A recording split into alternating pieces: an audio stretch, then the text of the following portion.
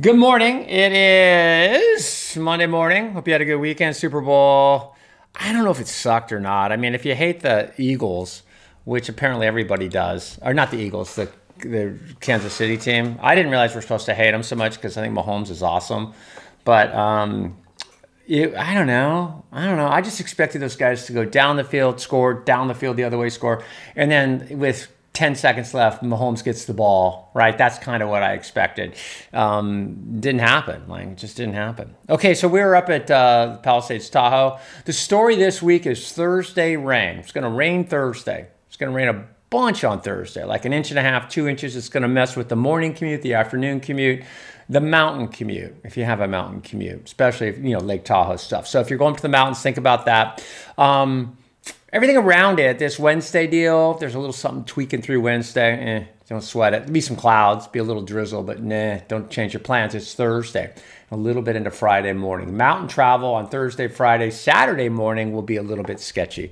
So let's see if we can load this up. I kind of like this camera. It may not. There it goes. These are folks going skiing on a Monday. We've talked about that, and someday that'll be me.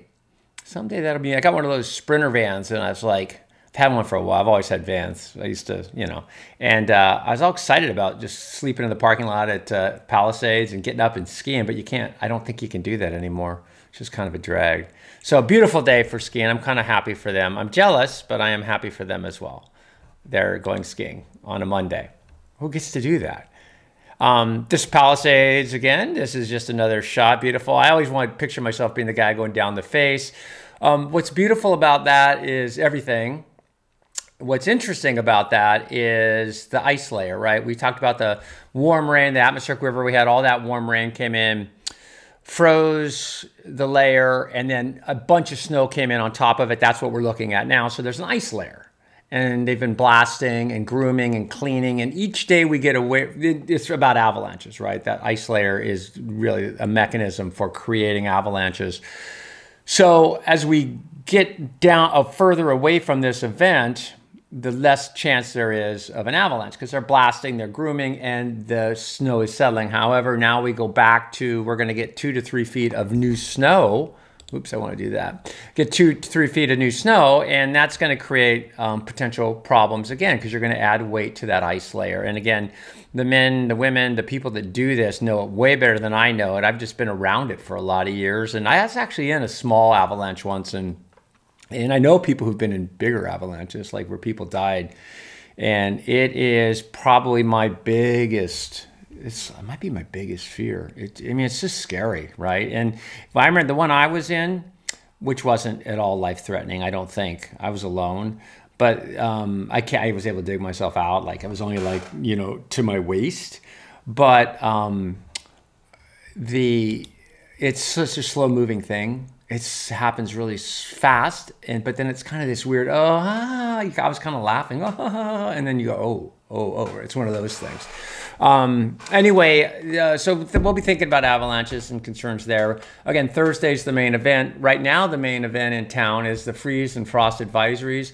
Got the word from a uh, uh, someone who's kind enough to watch these to the end and uh, about freeze or frost advisories because I asked them, I, I, asked you guys, go, what's a, because I'm just always like, yeah, it's a drag for me. And I, again, not being a, a horticulturist, I'm not savvy to this stuff. And the guy goes, dude, citrus crops. And of course, I, I know that. I should, of course, I should know that. I, I, you know, that's why they love it down in um, Los Angeles, right? Florida, right? Citrus crops, a lack of frost. So frost gets on the um, blossoms and, of course, can ruin the fruit. And I'm sure there's other, tons of other examples of that. I just never think of things, you know, growing um, that much in February. But yeah, there's there's blossoms, especially down in Southern California. So anyway, that is the frost advisory. That is a freeze warning for tonight again. This is the freeze warning in Southern California, more towards the hills up by Bakersfield before you get to the Grapevine. And then everything in Southern California is hunky dory until you get to this event, this rain event. This is 500 millibar um, level. So it's kind of up off the it's up off the topography. Now, this map's awesome because it's about, you know, when you get up off the topography, things flow more evenly, right? When you're down here, there's raw, there's mountains, there's hills, there's friction. Up here, there's less. And so this is why this model works well for finding the jet stream because it's sort of a, a not friction free, but all, uh, as, as friction free as we're going to get in the atmosphere. So it's high enough that it gets going without too much impact from the hillside. So this is carrying the vorticity, which is the red and yellow, which is just the mechanism for lift, the mechanism for instability. It's a, it's a, it can be a lot of different things, but vorticity just means spin. Okay, so we're next map we're going to look at is going to be down on the surface. So here's uh, 500 millibar vorticity COD. We got that linked on the page, and here's California. Here is Wednesday. See that? It's like, eh, whatever. It's sort of in a little high pressure zone, so nothing much with that. I'm not changing my plans on Wednesday, just some clouds. But then you see this guy. See that guy loading up right there? That thing's got game. Look at that. Boom. That is Thursday let's see, let's go all the way back. Thursday morning, Thursday afternoon, Thursday night, into Friday morning. So it's all about Thursday all day, front and back. The um, and we'll look at the close up on this thing. I'll back this up. This is sea level pressure and rainfall forecast. Remember the the the lines, surface pressure millibars closer together, the windier it is. So there's some north wind up around Boerne. We go forward here. Here comes Wednesday morning. Tuesday night, Wednesday morning, right? What do you do with that? And again, it's sort of in a little bit of a high pressure zone, so there's not any lift, real lift with this thing. Unless, I think that's why the main reason we're talking maybe some drizzle along the coast and the coastal hills because there will be some um, uh, what do you call it mechanical lifting by the coastal range and then it moves out. And then here we go. Here comes Thursday morning early. Morning commute's wet. Afternoon, lunchtime's wet. Afternoon commute is hammering wet. And in the mountains, it's snowing, maybe two to three feet. So this Thursday thing is like what they're supposed to look like, quite frankly. You know, you got, and you see the isobars, you can probably pick it out here in the orange. See how close they are together. So it's going to be windy eh, 40, 50 miles an hour. And when the wind gets up over 45, 50 miles an hour, stuff starts to happen, right? We can manage winds 25 miles, 30 miles an hour. But when you get over that, you start, you know, old eucalyptus branches, things start to come down. So that's that's going to be all day Thursday. And then it starts to clear out, and then Friday morning, Bay Area clears out. Mountains keep going, boom, boom, boom, boom, boom. So mountains are going to end up with, again, Southern Sierra is going to easily get three feet. That's um, going to be Mammoth in those areas, Bear Valley, maybe even Kirk, Kirkwood, maybe South Lake Tahoe. But the Echo Summit, Donner Summit, those areas are going to get probably two feet, two and a half feet of snow, maybe three though. And then Fantasyland, I'm going way out now. See, there's nothing going on. So now we'll look at the amount of rain. Here is the accumulation of rainfall, GFS that's that Wednesday thing. Don't even just act like that didn't happen. And then here is Thursday and Friday. And you can see the bullseye for the most rainfall is down the Santa Cruz Mountains, down uh, half uh, down towards Big Sur. Uh, it'd be interesting to see. And then Lake Tahoe, snow. And then you see here, that's more like Mammoth. Because this looks like the dynamics are favoring the dynamics being the vorticity, right? That lift. The stronger dynamics are favoring the southern, central southern part of the state. It looks like the uh, North Bay, for the first time in a while, is going to get a little break because this is not a classic atmospheric river. There will be a little bit of subtropical moisture wrapped into this thing, but it's not a, typical river, uh, atmospheric river. So snow levels will be pretty pretty low, five five thousand feet, fifty five hundred feet, even lower.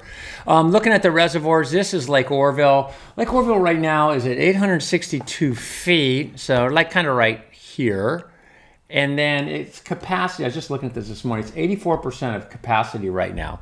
So what they're, and you're going, well, why don't they just fill it up because all this rain? Well, it's, when they put these reservoirs in, here comes Lake Shasta too. I think that's Lake Shasta, right? Yeah, that's Lake Shasta. Um, that's Lake Shasta there. They 87% of, of where it should be right now, of where it's of capacity. Reservoirs were built. Uh, these reservoirs specifically were built for flood control, and so from June, October to June, they are their main, their primary thing is not to get water to LA. So, supposedly, their main thing is flood control. So they have to leave room. So they're releasing. Lake Oroville a few weeks ago started releasing from the spillway. That's to keep it and give yourself a buffer. Now Lake Oroville, let's see. Um, I got uh, a couple of these are just you know they're they're like you know not they got they still have many feet to the top, say 20 feet or so to the top, but that last 20 feet is huge because the reservoirs are like this, just like rivers. So when you talk about rises on rivers, it goes really fast in the martini glass when you first pour it in, but when you get to the top, it really and that's what the reservoirs are. So these last 10, 15, 20 feet of shoreline is magnitudes greater in terms of holding water. So really essentially uh, we're we're all at about mid 80 80% 85% of Shasta and Oroville 85% of where they need to be. They could go right up to 100% but it's flood control. Um, and this next storm is going to you know they're going to have to release more water. So it's a dance that they do um, and, this, and and they do a good job of it quite frankly. This is Ocean Beach big container ship coming in kind of a fun day tides are a lot of tide right now um, tides are a little bit they're not they're a little bit swingy right now in terms of big high to big low. Uh, the is going to pick up big time on this this Thursday, Friday, Saturday. So big time, like 15, 20 feet. Blown out, nutty, just dangerous. This is Stinson Beach. Um, it's not necessarily going to be surfable for a few days. This is Pipeline in uh, Hawaii. They're going to get a little bigger. Today they're like six to eight feet, maybe eight to 10 this is the place I told you yesterday not to paddle out if you don't if you don't live there, especially on a day like today, because this group of guys and women all know each other, and there is a pecking order that is. Ooh, that's a nice one, isn't it? There's a pecking order that there goes a guy. There's a pecking order that is very uh, very established, and it's it's good. Otherwise, people get hurt out there. Okay, that's pipeline. This is uh, Mount Tamalpais again. And you see a few clouds hanging out. That's what we're going to see more of tomorrow. And then Wednesday, that's, it goes probably partly to mostly cloudy.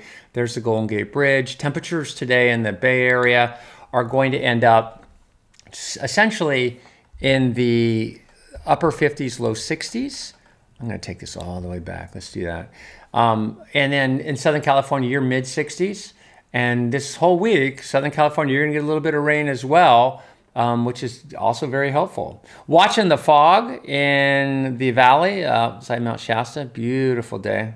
They, it's almost like I didn't realize how much fog they have almost every morning and how that works, um, how that flush back. I'm gonna watch that one more time.